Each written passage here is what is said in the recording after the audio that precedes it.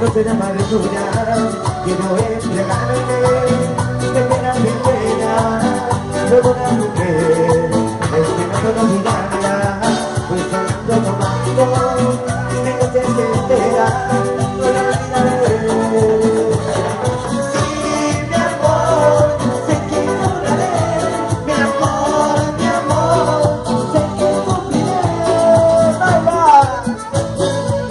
Bailalo,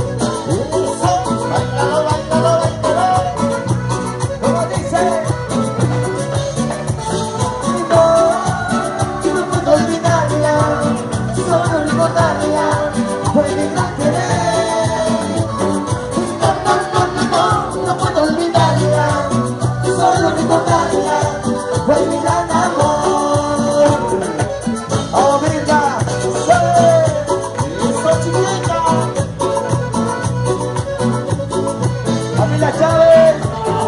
No, no puedo olvidarla, solo recordarla.